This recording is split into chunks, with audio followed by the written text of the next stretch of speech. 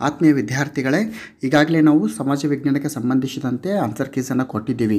ಏನು ಜುಲೈ ಹತ್ತೊಂಬತ್ತರಂದು ನಡೆದಿರುವಂಥ ಸೋಷಿಯಲ್ ಸೈನ್ಸ್ ಪೇಪರ್ ರಿಲೇಟೆಡ್ ಆಗಿ, ಅದರಲ್ಲಿ ಒಂದಿಷ್ಟು ಕ್ವಶನ್ಸ್ಗಳು ಮಿಸ್ ಆಗಿದ್ದು ಟೆಕ್ನಿಕಲ್ ಎರರ್ನಿಂದ ಇಲ್ಲಿ ಈ ಒಂದು ಕ್ವಶನ್ ಪೇಪರ್ಸ್ನಲ್ಲಿ ಆ ಒಂದು ಕ್ವಶನ್ಸ್ಗಳು ಬಂದಿಲ್ಲ. ಆದರೂ ನೇರವಾಗಿ ಆನ್ಸರ್ಸ್ಗಳನ್ನು ಹೇಳುವಂಥ ಪ್ರಯತ್ನವನ್ನು ಮಾಡ್ತೀವಿ. ನಿಮ್ಮ ಆನ್ಸರ್ಸ್ಗಳನ್ನು ಅಲ್ಲಿ ನೀವು ಕಂಪ್ಯಾರಿಸನನ್ನು ಮಾಡಿಕೊಳ್ಳಿ. ಇಲ್ಲಿ ಎಂಬತ್ತೆಂಟರ ಪ್ರಶ್ನೆಗೆ ರಿಲೇಟೆಡ್ ಆಗಿ ಸರಿಯಾದ ಉತ್ತರ ಬಿ ಆಗುತ್ತೆ. ಕೆಲವೊಂದಿಷ್ಟು ವಿದ್ಯಾರ್ಥಿಗಳು ಇಲ್ಲಿ ಕಾಮೆಂಟ್ ಮಾಡಿದರು ಬಟ್ ಸರಿಯಾದ ಉತ್ತರ ಗೋಪಾಲಕೃಷ್ಣ ಗೋಖಲೆ ಆಗುತ್ತೆ. ಇನ್ನು ಏಯ್ಟಿ ನೈನ್ ಪ್ರಶ್ನೆ ನೇರವಾಗಿ ಉತ್ತರ ಹೇಳ್ತೀನಿ ನಾನು. ಇಲ್ಲಿ ಪ್ರಶ್ನೆ ಪ್ರಿಂಟ್ ಆಗಿರೋದಿಲ್ಲ. ಸೊ ಏಯ್ಟಿ ನೈನ್ಗೆ ಪ್ರಶ್ನೆ ಸರಿಯಾದ ಉತ್ತರ ಎ ಇದೆ. ಇನ್ನು ನೈಂಟಿ ನೈಂಟಿ ಪ್ರಶ್ನೆ ಕೂಡ ಮಿಸ್ ಆಗಿದೆ ಇಲ್ಲಿ ಬಟ್ ಸರಿಯಾದ ಉತ್ತರ ಹೇಳ್ತೇನೆ. ಕಂಪ್ಯಾರಿಸನ್ ಮಾಡ್ಕೊಳ್ಳಿ. ಸಿ ಸರಿಯಾದ ಉತ್ತರ ತೊಂಬತ್ತಕ್ಕೆ ಆಗುತ್ತೆ. ಅದಾದಮೇಲೆ, ತೊಂಬತ್ತೊಂದು. ತೊಂಬತ್ತೊಂದು, ಭಾರತದ ಉಕ್ಕಿನ ಮನುಷ್ಯ ಸರಿಯಾದ ಉತ್ತರ ಎ ಸರ್ದಾರ್ ವಲ್ಲಭಾಯ್ ಪಟೇಲ್. ಇದು ಸರಿಯಾದ ಉತ್ತರ ಆಗ್ತದೆ ಇಲ್ಲಿ.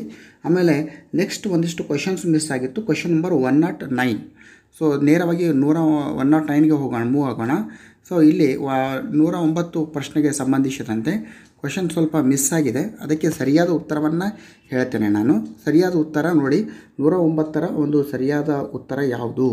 ನೂರ ಒಂಬತ್ತಕ್ಕೆ ಸರಿಯಾಗಿರುವಂಥ ಉತ್ತರ ಇಲ್ಲಿ ಹಿರಾಕೂಡ್ ಆಗುತ್ತೆ. ನಾನು ಬಾಕ್ರಣಂಗಲ್ ಅಂತ ಹೇಳಿದ್ದೆ.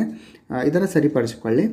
ಅದಾದಮೇಲೆ ಒನ್ ನಾಟ್ ನೈನ್ ಆಯಿತು. ಒನ್ ನಾಟ್ ನೈನ್ ಆದಮೇಲೆ ನೂರ ಹದಿನಾರು ನೂರ ಹದಿನಾರಕ್ಕೆ ಸರಿಯಾದ ಉತ್ತರ. ನೂರ ಹದಿನಾರಕ್ಕೆ ಸರಿಯಾಗಿರುವಂಥ ಉತ್ತರ ಯಾವುದು ಅಂದರೆ ಬಿ ಆಗುತ್ತೆ. ನೋಡೋಣ ಪ್ರಶ್ನೆ, ನೋಡೋಣ ಇನ್ನೊಂದು ಸಲ ಕೈಗಾನ ಸ್ಥಾವರ ಸ್ಥಾಪನೆಯ ವಿರುದ್ಧ ಹೋರಾಡಿದ ಪ್ರಮುಖ ನಾಯಕ ಡಾಕ್ಟರ್ ಶಿವರಾಮ್ ಕಾರಂತ್. ಆತ್ಮೀಯ ವಿದ್ಯಾರ್ಥಿಗಳ, ಒಂದಿಷ್ಟು ಟೆಕ್ನಿಕಲ್ ಎರರಿಂದ ಒಂದು ಮೊದಲು ಪಬ್ಲಿಷ್ ಮಾಡಿರುವಂಥ ಆನ್ಸರ್ ಕೀಸ್ನಲ್ಲಿ ತಪ್ಪಾಗಿದೆ.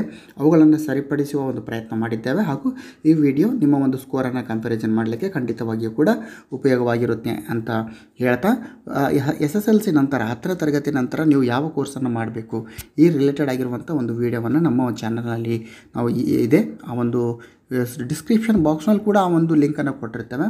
ಖಂಡಿತವಾಗಿಯೂ ಕೂಡ ಆ ಒಂದು ವಿಡಿಯೋವನ್ನು ನೋಡಿ ಮುಂದಿನ ಕೋರ್ಸನ್ನು ಆಯ್ಕೆ ಮಾಡಿಕೊಳ್ಳಿ. ಧನ್ಯವಾದಗಳು.